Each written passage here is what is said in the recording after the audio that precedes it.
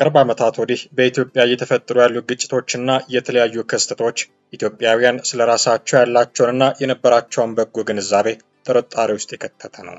ይልቁንም ሃይማኖትን መሰረት አድርገው የተነሱ ግጭቶች ሃይማኖተኛንን የምንለው እንዲሆነን ነው ወይ ብለው ብዙዎች እንዲጠይቁ አድርጓቸዋል። የእምነት ቤቶች ተቃጥለዋል። አማኞች በሃይማኖታቸው የተነሳ ተገድለዋል። ይህ በኢትዮጵያ የታየ መራር እውነት ሆኗል። ብዙዎች ህዝቡ በሰላም እየኖረ ነው፣ ችግር የሚፈጥረው ፖለቲካው ጣልቃ ሲገባ ነው የሚል እምነት አላቸው። ፖለቲካው ይልቁንም መንግስት ሃይማኖቶችን ለራሱ ጥቅም እየዋለ ነው የሚሉ ቅሬታዎችም ይሰማሉ። በሌላ በኩል ሃይማኖትም የፖለቲካ ጉዳዮች ላይ እጁን እያስገባ ነው፣ ፖለቲካዊ ኃይልን የማግኘት ምኞት አለው የሚል እይታም ያላቸው አሉ።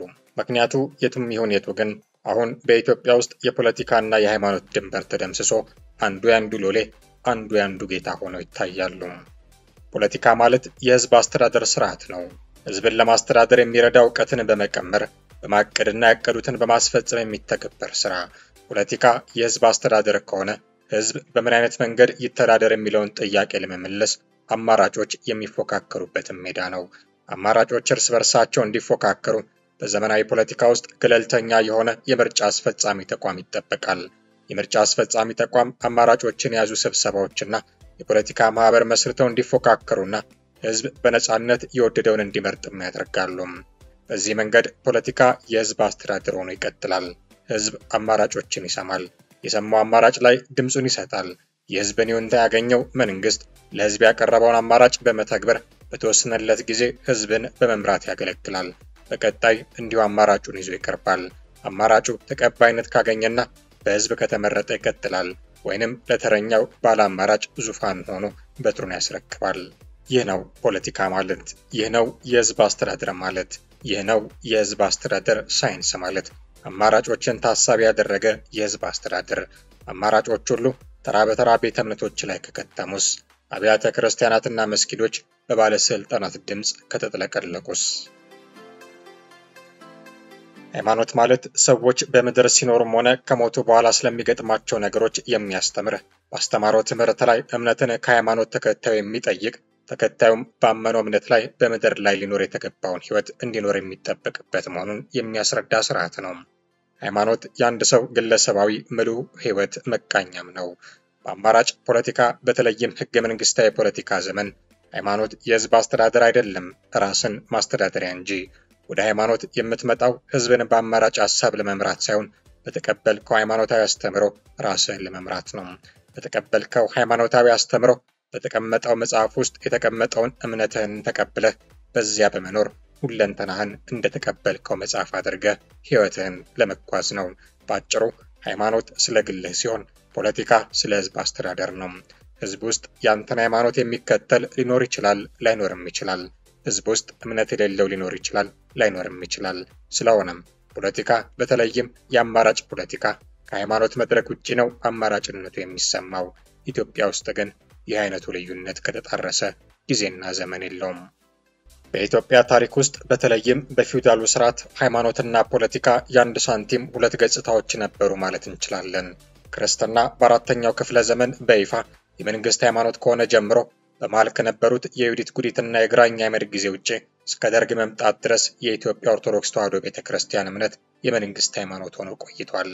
በዚህ ረጅም የታሪክ ሂደት ውስጥ ቤተ ክርስቲያን ከፍተኛ ስልጣንና ኃይል የነበራት ሲሆን እኩል ግብርም ይገባላት ነበረ። ሲሶ ለነጋሽ፣ ሲሶ ለቀዳሽ፣ ሲሶ ለአራሽ እንዲሉ ለቤተ ክርስቲያን የማይመች ንጉሥ ሲነሳም ህዝቡን በማስተባበርና በማሳደም የንግስና ዕድሜው እንዳይረዝም የማድረግ ኃይልም ነበራት። ለምሳሌ የመጨረሻው የዛጉዌ ስርወ መንግስት ንጉሥ እየተባረክ ተወግዶ ሰለሞናዊ ስርወ መንግስት እንዲመለስና በ1270 ይኩኖ አምላክ እንዲነግስ በማድረግ በኩል የቤተ ክርስቲያን አስተዋጽኦ ከፍተኛ ነበርም። በተጨማሪም በዳግማዊ አፄ ቴዎድሮስ ጊዜ የነበረውን ታሪክ ማስታወስም ይቻላል። ህዝቡን በማስተዳደርና ኢትዮጵያ አንድነቷንና ነፃነቷን ጠብቃ እንድትቆይ በማድረግ በኩል ቤተ ክርስቲያን ያላትን ኃይልና ተደማጭነት በመረዳት በሚገባ የተጠቀሙበት ንጉሠ ነገሥታትም ቁጥራቸው ቀላል አይደለም። ለአብነት ያህል ታላቁና ብልሁ መሪ ዳግማዊ አጤ ምኒልክ በአድዋ ጦርነት ወቅት ለድል ካበቋቸው ምክንያቶች ውስጥ አንዱ ቤተ ክርስቲያን በዘመቻው ወቅት የነበራት ጉልህ ሚና ጭምር ነው። በ1953 ዓ ም የታህሳስ ግርግር በመባል የሚታወቀው የመፈንቅለ መንግስት ሙከራ እንዲከሽፍና ቀዳማዊ አፄ ኃይለሥላሴ የግዛት ዘመናቸው ለጊዜውም ቢሆን እንዲራዘም በማድረጉ ረገድ በወቅቱ የነበሩት ፓትርያርክ የተጫወቱትን ሚናም ማስታወስ አስፈላጊ ይሆናል። በደርግ ዘመን የሃይማኖት ተቋማት ከመንግስት ጋር የነበራቸው ይፋዊ ቁርኝት የተበጠሰ ሲሆን ደርግ እከተለዋለሁ በሚለው የሶሻሊዝም ርዕዮተ ዓለም ምክንያት የሃይማኖት ተቋማት እንዲደክሙና ተደማጭ እንዳይሆኑ የሚያደርጉ ስራዎችንም ሰርቷል። አሁን በኢትዮጵያ ያለውን የሃይማኖትና የፖለቲካ ግንኙነት እንዳለመታደል ሆኖ ተመጋጋቢ የሆነ ለሁለንተናዊ ሰላም የሚረዳ የሁለትዮሽ ግንኙነት ሳይሆን የፖለቲካው ፍጹም የበላይነት ያለበትና የሃይማኖት ተቋማትን የሚደፈጥጥ ብሎም የሚበዘብዝ በመሆኑ እጅግ አደገኛና ማህበረሰቡንና ሀገሪቷን ውስብስብ ወደሆነ ማጥ ውስጥ ሊከት የሚችል ነው ብለው የሚገመግሙትም አሉ። የወቅቱ የአገሪቱ መሪ ጠቅላይ ሚኒስትር ዶክተር አብይ አህመድ በተለያዩ ጊዜያት የሃይማኖትንና የመንግስትን ግንኙነት የሚያስረዱ ንግግሮችን አድርገዋል። በእነዚህም ንግግሮቻቸው ላይ መንግስታዊ ሃይማኖት እንደሌለ አስረግጠው ሲናገሩ ሰምተናቸዋል። ነገር ግን በየወቅቱ በየብዙሃን መገናኛው ብቅ እያሉ የሚያስተላልፏቸው መልእክቶች አንዳንድ ጊዜ ቆብ የደፉ ካህን ያስመስላቸዋል። ሌላ ጊዜ ህዝቡን እንደሚገስጽ ኡስታዝ አሊያም ቃል እንደሚያወጣ ነቢይ ሲያደርጋቸውም ታዝበናል። ጠቅላይ ሚኒስትሩ የመጽሐፍ ቅዱስ ቃል ካንደበታቸው የማይጠፋ የቁርአን ጥቅስ የንግግራቸው ማሳመሪያ የሆነላቸው መሪ ናቸው። በግል በአደባባይ ያውም በህዝብ ተወካዮች ምክር ቤት ውስጥ እኔን የሚጠብቀኝ አይተኛም አያንቀላፋም ብለው የሰበኩ ደፋር መሪ ናቸው ጠቅላይ ሚኒስትር ዶክተር አብይ አህመድ። አሁን በቅርብ ቀናት ውስጥ አዛንና ቅዳሴ ቱሪስት እየረበሹ በሽተኛ ላስተኛ እያሉ ነው ብለው እስኪናገሩ ድረስም ጠቅላይ ሚኒስትሩ የሁለቱ ሃይማኖቶች ወዳጅ ተደርገው በብዙዎች ይሳሉ ነበርም። ከሰሞኑ ከተለያዩ አካላት ጋር ውይይቶችን ደጋግመው እያደረጉ ያሉት ዶክተር አብይ አህመድ ከእነዚህ ተወያዮች መካከል የሃይማኖት ተቋማት ግንባር ቀደሙ ናቸው። ታዲያ በእነዚህ ውይይቶች ላይ የተንጸባረቁ ሰሞነኛ ጉዳዮች በእርግጥ በብልጽግና ዘመነ መንግስት መንግስትና ሃይማኖት የተለያዩ ናቸውን የሚለውን ጥያቄ ዳግመኛ ቆስቁሶታል። ገዳማት ተቃጠሉብን፣ ካህናት ተገደሉብን የሚሉ ኦርቶዶክሶች፣ መስጊዶች ፈረሱብን፣ ሼኮች ተዋረዱብን የሚሉ ሙስሊሞች በግልጽም ባይሆን እንዲያው ሸሸግ ብለው ይሄ መንግስት የፕሮቴስታንት መንግስት ነው እያሉ ያሙታል። እውቀት ቀመስ የሆኑ ሃይማኖት ምሁራን ደግሞ እንዲያውም የፓርቲው ስምና ሎጎ ከ prosperity gospel የተቀዳ ስለመሆኑ ማስረጃ ጠቅሰው ይሞግታሉ። ሁለተኛ ራሱ አሁን ያለው የብልጽግና አርማ ከ prosperity gospel የተወሰደ ነው። በቃ ትንሽ ነገር ብቻ ነው ከመሀል መስቀል ነገሯ የወጣችው ማየት ይቻላል በሚገባ የ prosperity አሁን የብልጽግና ፓርቲ prosperity gospel የሚባል የፕሮቴስታንቲዝም አንጃ ቡድን አለ እንዳለ ከዛ የተወሰደ ነው። አስተምረው thinking ኡም ከዛ የተወሰደ ነው። ቅርብ ጊዜ በወጣ አንድ ማሰልጠኛ document ላይ ኦርቶዶክሳዊነት ኦርቶዶክሳዊ እሳቤ ለብልጽግና፣ ለስልጣኔ፣ ለእድገት አይመችም የሚል ሀሳብ ቀርቧል። ብልጽግና ፓርቲ ባዘጋጀው ስልጠና ማለት ነው። በ document ላይ አለን soft copy። ታዲያ ይሄ መንግስት ሃይማኖታዊ ካልሆነ የመንግስት የሆነ ሃይማኖት ከሌለ እንዴት ሊሆን ይችላል? በአንጻሩ ኦርቶዶክስ ሌሎችን ደግፎ ማለት ነው። ፕሮቴስታንታዊነት ደግሞ ለብልጽግና ይመቻል፣ ይረዳል የሚል ሀሳብ ቀርቧል። እንግዲህ ዛሬ እዚህ ደረጃ ከተደረሰ ነገ ምንድን ነው የሚሆነው? ዛሬ ካድሬ ማሰልጠኛ ምክንያቱም የሚመሩት እነዚህ ካድሬዎች በዛ ማሰልጠኛ መሰረት ነው። እዛ ላይ ነገ የሚፈጸመው እንግዲህ በየቦታው ይኬድና ብልጽግና እንዲህ ይላል ማለት ነው። እየሆነም ያለው እሱ ነው እና ይሄን ሁሉ እያየን እንዴት ነው ይሄ መንግስት ሃይማኖታዊ አይደለም ማለት የሚቻለው? በሚገባ ቴዎክራቲክ ስቴት ነው፣ ሃይማኖታዊ መንግስት ነው እየሆነ ያለው። ጠቅላይ ሚኒስትሩ ግን ይህ አይዋጥላቸውም። በቀደመ ዘመናቸው ተንበርክከው ቃል የተቀበሉት የእናታቸውን የንግስና ቡራኬ ይሁነኝ ብለው ያስተናገዱት በየንግግሮቻቸው መሃል የእግዚአብሔርንና የአላህን ስም ደጋግመው በማንሳት የሚታወቁት ከዚህ በፊት በነበሩ መንግስታት ያልተደፈረውን ደፍረው በህዝብ ተወካዮች ምክር ቤት ውስጥ የፈጣሪን ስም ደጋግመው ያመሰገኑት ዶክተር አብይ መንግስታቸው ሃይማኖታዊ እንዳልሆነ ለማሳየት ሽንጣቸውን ገትረው ነው የሚከራከሩት። ብልጽግና የሁሉም ኢትዮጵያዊ እንጂ የፕሮቴስታንት መንግስት አይደለም ብለውም አስረግጠው ይናገራሉ። አሁን ያለው መንግስት አንደኛ የፕሮቴስታንት መንግስት አይደለም፣ የኢትዮጵያ መንግስት ነው። 14.5 ሚሊዮን አባል ያለው ብዙ እስላሞች፣ ብዙ ኦርቶዶክሶች፣ ብዙ ጴንጤዎች፣ ብዙ የማያምኑ ሰዎች ያሉበት ነው። ለምሳሌ ፓርቲያችንን እኔ እናንተ አካባቢ ነኝ፣ ምክትሌ ኦርቶዶክስ ናቸው፣ ሌላው ምክትሌ ሙስሊም ናቸው። በጋራ ነው ፖሊሲ የምናወጣው። የተለየ ባለቤት ለመሆን የማትሞክሩ የተለየ ደጋፊ ነንም አትበሉ። ከእናንተ ውስጥ እንደ ዜጋ ይሄ ራዕይ ይጠቅመኛል የፈለገናል ያልፈለገናል መብቱ ነው። እንደዛ ብሎ የሚያስቡ ሰዎችም ትክክል አይደሉም። ጠቅላይ ሚኒስትሩ ይህንን ቢሉም ትችቶቻቸውን የሚመክቱላቸው፣ እርግማናቸውን የሚገለብጡላቸው፣ ስለ ጠቅላይ ሚኒስትር ያገባኛል ብለው ቃል የሚያወጡላቸው ፓስተሮች ግን ሞልተዋል። ራሳቸውን ከሌላው የኢትዮጵያዊ በተለየ ስፍራ ሊያስቀምጡ ከእነሱ ሀሳብ በተቃራኒ ቆመውን ደንቆሮ ብለው የሚሳደቡ ሃይማኖተኞች ሲበጠበጡ ማየት ያስደስተኛል የሚሉ ሃይማኖትና ፖለቲካ አይለያይም ብለው የሚደነፉ ስለ ፖለቲካ አታውራ ካልከኝ የምርጫ ካርድ ይዘህ አትምጣ ብለው በድምፃቸው የሚያስፈራሩ ጉልበተኛ ፓስተሮች ናቸው ለጠቅላይ ሚኒስትሩ ጥብቅና ሲቆሙ ደጋግመን ያየናቸው። እርግጥ ነው የእርሶ በአግባቡ እንቅልፍ መተኛት ያሳስበኛል ብለው ከምዕመናቸው በላይ ለመሪያቸው የሚጨነቁ ካህናት አሉ። በእርሶ ዘመን ያገኘነውን በማንም ዘመን አላገኘንም ብለው የሚምሉና የሚገዘቱ ጳጳሳትም ሞልተዋል። ነገር ግን ጠቅላይ ሚኒስትሩንና መንግስታቸውን የፕሮቴስታንት መንግስት ነው የሚያስብሉ ፓስተሮች እንዳሸን የፈሉ ናቸው።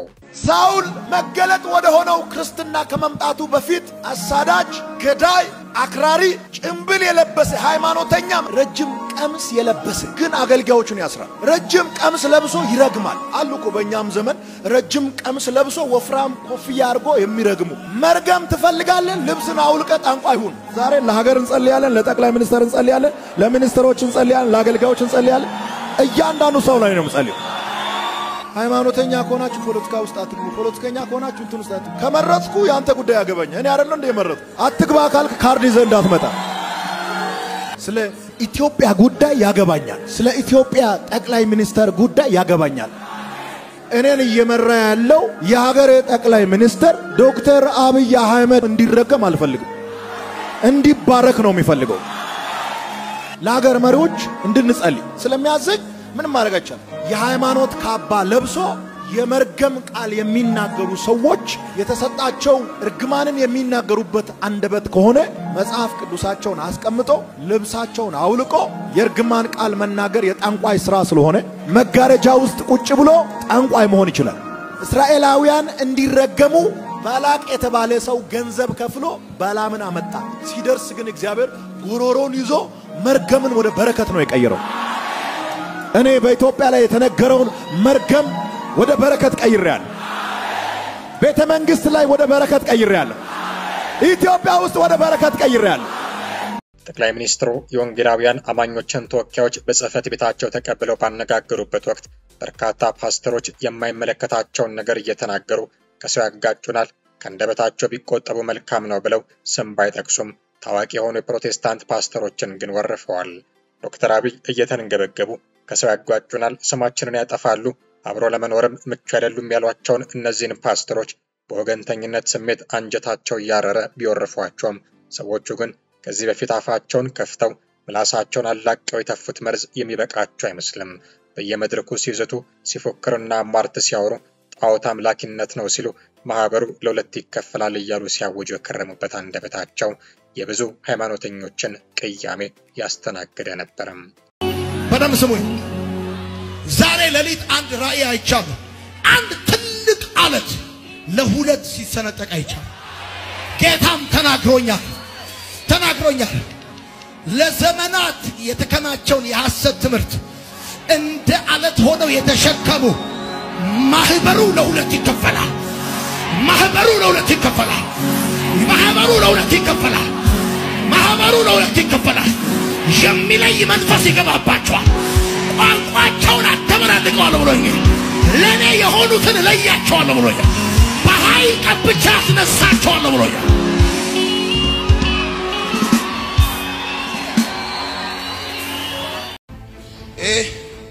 ታምረ ማርያም እንደዚህ ይላል።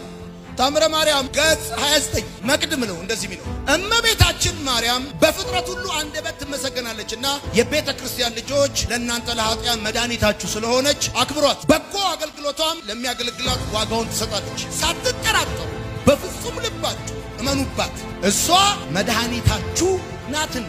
በስዕሏ ፊት ስገዱ። ለስዕሏ ያልሰገደ ግን ከቆመበት ቦታ ይጥፋ፣ ስም አጠራሩም አይታወቅ። ይህ ጣዖት አምላኪነት ይህ ጣዖት አምላኪነት ነው። ይህ ብቻም አይደለም።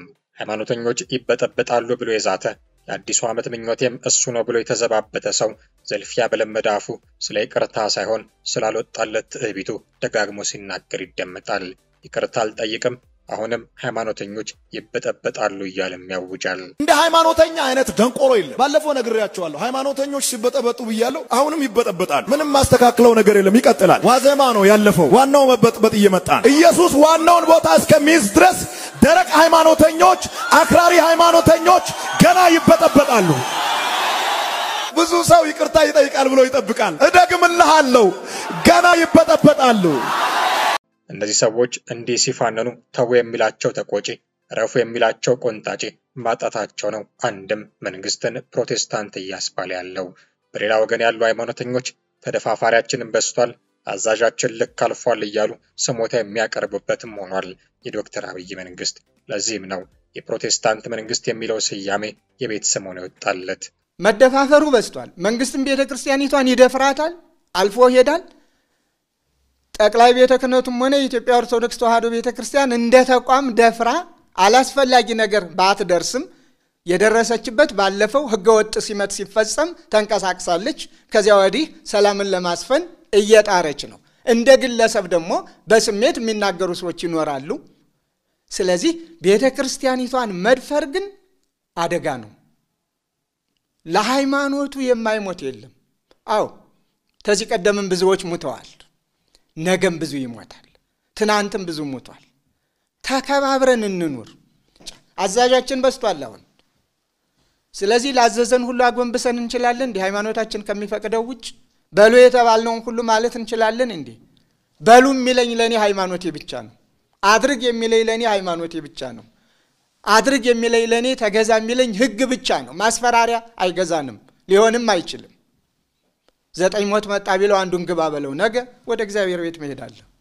ስለዚህ በደል ይቁም፣ ሰላም ይስፈን፣ ትንሽ ትልቅ እየተባባሉ መከራ ማየቱ ይቁም፣ ሰላም ከሀገር እስከ ሀገር ይስፈን። ቤተ ክርስቲያንም ሰላማዊ ስራዋን ትስራ፣ መንግስትም እንደ መንግስት ሁሉን አቅፎ ይስራ።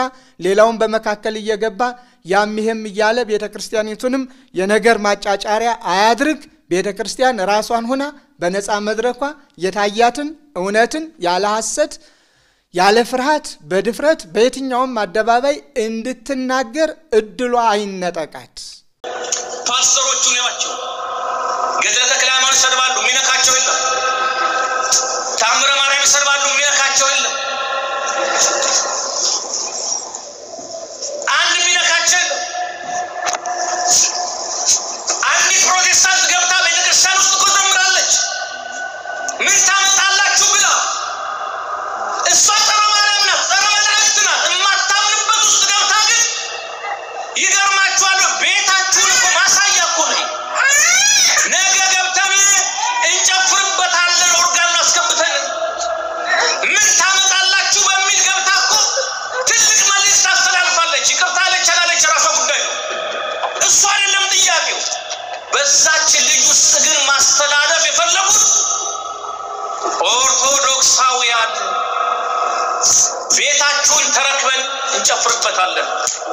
የሚል መልእክት ነው።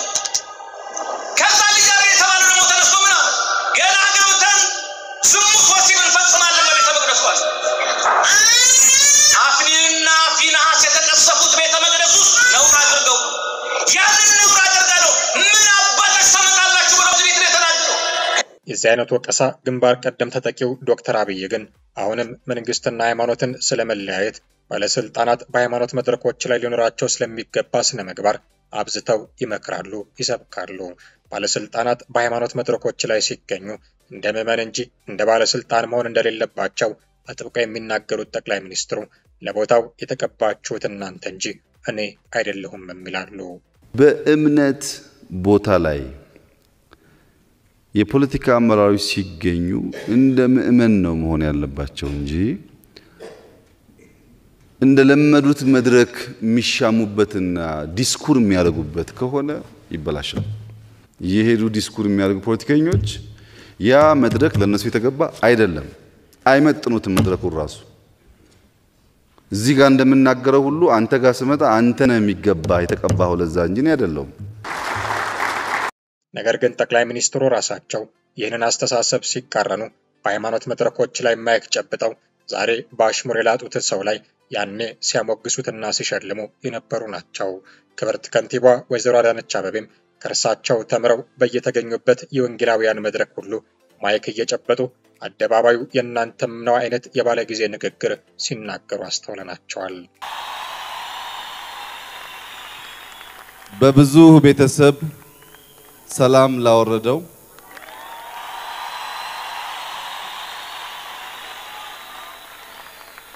በማስመሰል ሳይሆን ወደ መምሰል እያደገ ላለው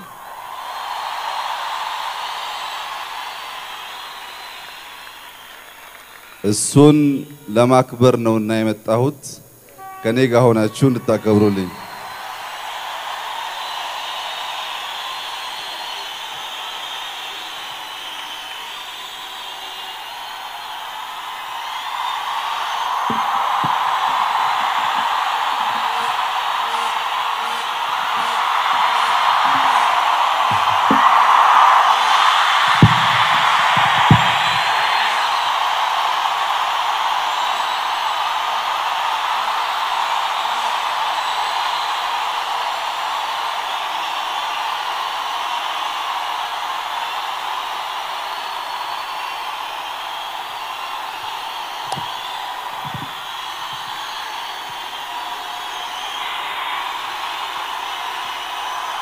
አንደኛ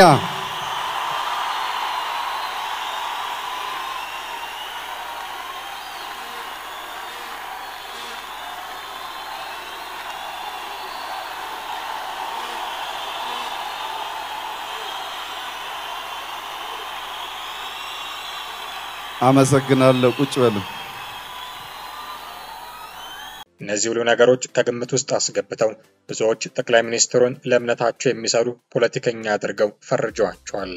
ስልክ እየተደወለላቸው ከነቢያት ቃል ሲቀበሉ ሰማን፣ ተንበርክከው አገር እንዲመሩ በፓስተሮች ሲቀቡ አየን እያሉ ውስጥ ውስጡን የሚናፈሱ መረጃዎችን አምነው በእርግጥም ጠቅላይ ሚኒስትሩና መንግስታቸው ሃይማኖታዊ ነው ብለው ከደመደሙ ቆዩ። ይሄ የማይዋጥላቸው ደግሞም አሉ። የአገሪቱን መሪ በፕሮቴስታንት መንግስትነት መጠርጠር አይቻልም፣ ይልቅስ እሳቸውም እንዲያውም እንዲጠላ ያደረጉት የሚሉ ተከራካሪዎችም በርካቶች ናቸው። አሁን አንዳንዱ የሚመስለው አብይ የፕሮቴስታንት እምነትን እያሳደገ ምናምን አድርጎ የሚያስባል። ኦርቶዶክስ ሆኖ ሙስሊም ሆኖ ፕሮቴስታንት ሆኖ እንደዛ የሚያስባል። አብይን እንደ ፕሮቴስታንት የሚያይ እና ፕሮቴስታንት እንዲያድግ መብት እንዲኖረው ያደረገ አድርጎ የሚያስባል። በጣም በጣም በጣም ድንቁርና ውስጥ ያለ ሰው ነው እንደዛ የሚያስበው። ኢትዮጵያ ውስጥ እውነቴን የምነግርህ የፕሮቴስታንት እምነት እንዳያንሰራራ አድርጎ እየሰባበረው ያለው አብይ አህመድ ነው። እውነቱ እሱ ነው። ዛሬ ቢረዱትም ባይረዱትም እንዳያንሰራራ ወደፊት ማንም ሰው ወደዛ እምነት መሄድ እንደ ነውር እንዲቆጥር እያደረገ ነው ያለው። እንዳሸን እያፈላ ያለው ሌባው፣ ቀማኛው፣ ወንበዴው፣ ዳንሰኛው፣ ዳንኪረኛውን አመጣው። ዝም ደጋግመን ብለነዋል።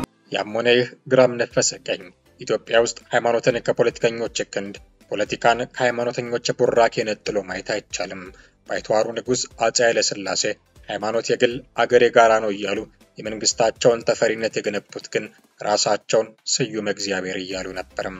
ንጉሱን ከስልጣን ፈንግሎ የህዝብን ጥያቄ ወደ ራሱ ስልጣን መንዝሮ መሪነትን የጨበጠውን ደርግን ሲያንቀጠቅጦ ኢትዮጵያንም ሲያርበደብዱ 17 ዓመታትን የፈጁት ኮሎኔል መንግስቱ ኃይለማርያምን ቢሆኑ መንግስታቸው ሃይማኖት የለሽ እንደሆነ ቢደሰኩሩለትም ፓትርያርክን ሽሮ ፓትርያርክን እስከ መሾም የደረሰ የስልጣን ብልግና ግን አላጣቸውም ነበረም። ኢህአዴግም ቢሆን ምንም እንኳን በህገ መንግስት ደረጃ ሃይማኖትና መንግስት የተለያዩ ናቸው ብሎ ቢያውጅም አባ መርቆሬዎስን ከሀገር አሳዶ አባ ጳውሎስን ከሞሾም ድምፃችን ይሰማ ያሉ ሙስሊሞችንም ለቃቅሞ ወህኒ ቤት ውስጥ ከማጎር ያስቆመው አካል አልነበረም።